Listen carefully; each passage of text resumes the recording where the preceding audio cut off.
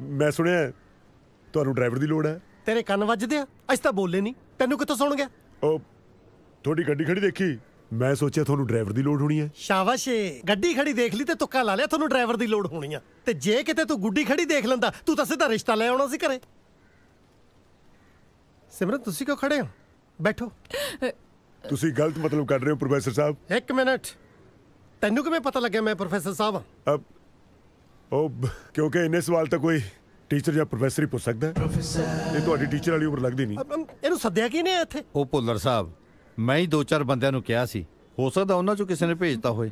ਬਾਈ ਦਾ ਵੇ ਮੇਰੇ ਹੁੰਦੇ ਤੁਹਾਨੂੰ ਡਰਾਈਵਰ ਰੱਖਣ ਦੀ ਲੋੜ ਕੀ ਆ? ਭੁੱਲਰ ਸਾਹਿਬ ਜਿਹੜਾ ਤੁਸੀਂ ਮੈਨੂੰ ਰੋਜ਼ ਛੱਡ ਆਉਂਦੇ ਹੋ ਇਹ ਤਾਂ ਤੁਹਾਡਾ ਬੁਢਾਪਨ ਹੈ। ਬੁਢਾਪਨ ਨਹੀਂ ਹੁੰਦਾ ਬੁਢਾਪਨ ਹੁੰਦਾ। ਆ ਬੁਢਾਪਣ ਬੁਢਾਪਣ ਕਹਿ ਕੇ ਮੈਨੂੰ ਬੁਢਾਪੇ ਦਾ ਸਾਥ ਨਾ ਦਿਵਾਓ। ਬੁਢਾਪਨ ਦਾ ਤੁਹਾਡਾ ਹੋਊਗਾ ਜੀ। ਜੇ ਤੁਸੀਂ ਮੈਨੂੰ ਇਸ ਨੌਕਰੀ ਤੇ ਰੱਖ ਲਓ। ਬੁਢਾਪਣ ਵਾਲੀ ਕੋਈ ਗੱਲ ਨਹੀਂ। ਇਸ ਮਾਮਲੇ 'ਚ ਤੂੰ ਮੈਨੂੰ ਕਮੀਨਾ ਹੀ ਸਮਝ। ਅੱਛਾ। ਬਾਕੀ ਇਧਰੋਂ ਪੁੱਛ ਲਾ। ਪੁੱਛਣਾ ਕੀ ਹੈ? ਸਾਨੂੰ ਹੋਰ ਕੀ ਚਾਹੀਦਾ? ਜੇ ਕੋਈ ਸਿਆਣੀ ਉਮਰ ਦਾ ਡਰਾਈਵਰ ਮਿਲ ਜੇ ਤਾਂ। ਉਦਾਂ ਭਾਵੇਂ ਸਿਆਣਾ ਹੋਵੇ ਨਾ ਹੋਵੇ। ਸਾਲ 'ਚ ਕਿੰਨੀ ਕੁ ਗੱਡੀ ਚਲਾ ਲੈਣਾ ਤੁਸੀਂ ਸਾਲ 'ਚ ਕਿੰਨੀ ਗੱਡੀ ਚਲਾ ਲੈਂਦੇ ਹੋ? ਓਏ ਤੂੰ ਕੀ ਕਰਨੀਆਂ ਪ੍ਰੋਫੈਸਰ ਦੀਆਂ ਰੀਸਾਂ? ਮੈਂ ਤਾਂ ਸਾਲ 'ਚ 25 30 ਹਜ਼ਾਰ ਕਿਲੋਮੀਟਰ ਚਲਾ ਲੈਣਾ ਇੰਨੀ ਤਾਂ ਸਾਲ 'ਚ ਮੈਂ ਬੈਕ ਚਲਾ ਦਿੰਦਾ। ਵਾਓ ਫਿਰ ਮੈਂ ਨੌਕਰੀ ਪੱਕੀ ਸਮਝਿਆ ਜੀ? ਇਟ ਵਰਗੀ। ਹਾਂ ਹਾਂ। ਕੱਲ ਟਾਈਮ ਤੇ ਆ ਜਿਓ ਤਨਖਾਹ ਹੋਏਗੀ 12000 ਸਿਰਫ? ਸਤਵਚਨ ਜੀ। ਸ਼ੁਕਰੀਆ।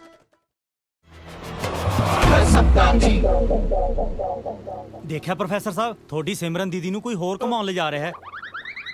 ਪਹਿਲਾਂ ਤਾਂ ਉਹ ਦੀਦੀ ਤੇਰੀ ਸੀ ਤੇ ਹੁਣ ਸਾਲਿਆ ਮੇਰੀ ਹੋਗੀ ਚਲੋ ਜਿਹਦੀ ਮਰਜ਼ੀ ਹੈ ਜੀ। ਹੈ ਤਾਂ ਬਗਾਨਾ ਧਨ ਪਰ ਲੁੱਟ ਕੋਈ ਹੋਰ ਰਿਹਾ ਹੈ। ਕੀ ਬਕਵਾਸ ਕਰ ਰਿਹਾ? ਮੇਰਾ ਮਤਲਬ ਘਮਾਉਣ ਕੋਈ ਹੋਰ ਲਿਜਾ ਰਿਹਾ ਹੈ।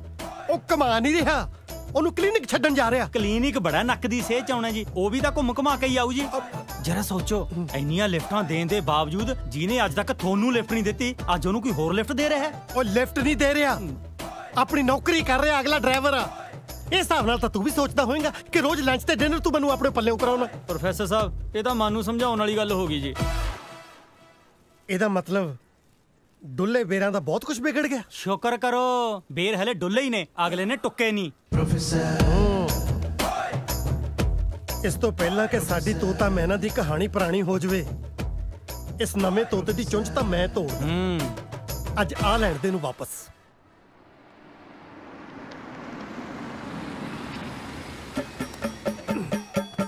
ਹੱਥ ਚੱਕ। ਗੱਡੀ ਚਲਾ। ਜੇ ਮੈਂ ਹੱਥ ਚੱਕ ਕੇ ਗੱਡੀ ਚਲਾ ਲਈ ਨਾ ਆਪਾਂ ਦੋਨੇ ਉੱਤੇ ਚੱਕੇ ਜਾਵਾਂਗੇ। ਬੰਦੇ ਦਾ ਪੁੱਤ ਬਣ ਕੇ ਗੱਡੀ ਚਲਾ। ਵੈਸੇ ਪੁੱਤ ਬਣਨ ਵਾਲੀ ਉਮਰ ਤਾਂ ਤੇਰੀ ਲੰਘ ਚੁੱਕੀ ਆ। ਤੂੰ ਸਿਰਫ ਬੰਦਾ ਬਣ ਕੇ ਗੱਡੀ ਚਲਾ।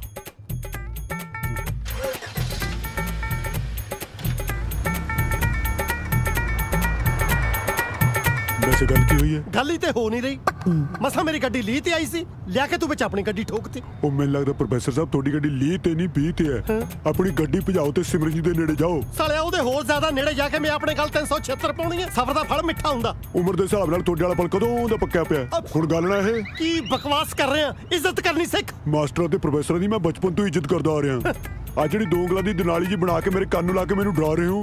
ਤੁਹਾਡੇ ਖਿਆਲ ਮੈਨੂੰ ਪਤਾ ਨਹੀਂ ਮੈਂ ਫਿਰ ਵੀ ਡਰ ਰਿਹਾ। ਇਹ ਇੱਜ਼ਤ ਹੀ ਹੋਰ ਕੀ ਹੈ? ਯਾਰ ਮੈਂ ਹੋਰ ਕੀ ਕਰਾਂ? ਸਾਲਾ ਦਿਲ ਵੀ ਦਿੱਤਾ ਉਹ ਵੀ ਇੱਕ ਡਾਕਟਰ ਨੂੰ। ਮੈਂ ਭੁੱਲ ਗਿਆ ਸੀ ਕਿ ਮਰੀਜ਼ ਡਾਕਟਰ ਤੋਂ ਟਾਂਕੇ ਤਾਂ ਲਗਵਾ ਸਕਦਾ ਪਰ ਉਹਦੇ ਨਾਲ ਟਾਂਕਾ ਨਹੀਂ ਪੜਾ ਸਕਦਾ। ਮੈਨੂੰ ਸਮਝ ਨਹੀਂ ਆਉਂਦੀ ਸਿਮਰਨ ਹੋਰ ਚਾਹੁੰਦੀ ਕੀ ਆ? ਮਰਦ ਬਣੋ। ਤੇ ਹੋਰ ਸਾਲਿਆ ਮੈਂ ਚੂੜੀਆਂ ਪਾਈਆਂ।